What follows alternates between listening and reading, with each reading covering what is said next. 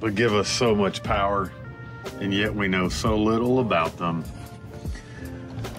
So you have a battery and you don't know what to do, and you're like, I don't know how to charge this silly thing. So, what's next? You got one of these, or one of those, or one of these, or one of these, and you're like, man, what do I do? All right, so let's simplify this. First things first, read the battery.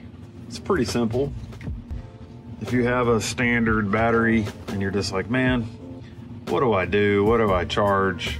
What's the, what do all these numbers mean? So we have customers come in every day. This is kind of what I tell them.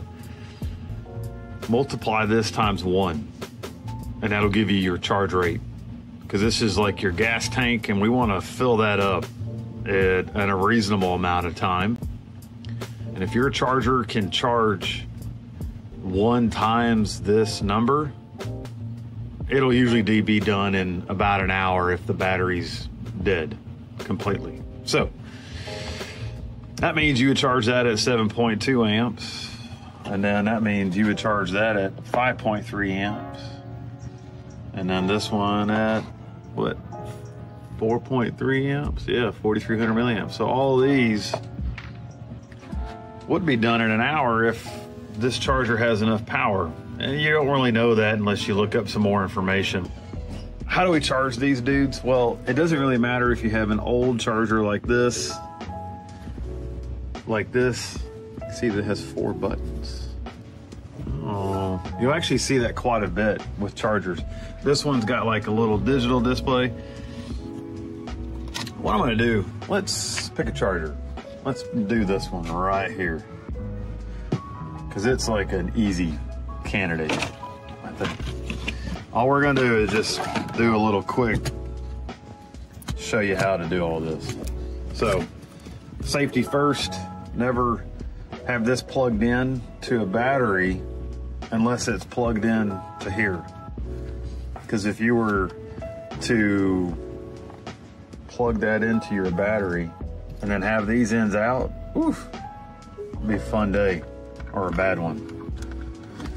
All right, just remember your charger may not be powerful enough. I know I've seen some of these batteries. I have one way over there on that window. It can be charged at 2C, but it's a 6S battery. 2C 6S at 5,000 milliamps, that's 10 amps, right? So only charger I have that'll do that is this one. Not all chargers will do that though, because that one won't. It don't have enough horsepower. Well, again, remember I was talking about that math earlier. All right, so math. We're back here. We're gonna lock in our charge rate. Well, we know that's not right. A lot of times these can go back and forth. All I want to do is match up what it says on the battery. 3S. And our plug here kind of gives it away as well, right? So that's there. I hit enter. Okay, now what? Well, nothing's flashing anymore. But if I do this, you'll notice that it changes settings. Well, today I'm only going to show you how to do this. The reason why is because most of the time people will discharge this all the way down, and if they don't, then that's another story. And then there's thing called lipo storage. But today, let's just talk about this. If you're charging a battery and you want these cells to all have the same voltage, remember there's three in this one, and then there's three in that one, and then there's two cells in this one. So if I want them to be the same, when I this little dude here helps to do that. So here, I'm telling the machine I want it to balance these three batteries that are wired in a series to give me 11 volts at 5.3 amp hours of runtime. And I'm gonna refill it at that rate. And then I'm gonna hold this down and it's gonna usually ask me a question. Watch. It says, hey man, are you sure this is right? Heck yeah, I did all my work. And that's it.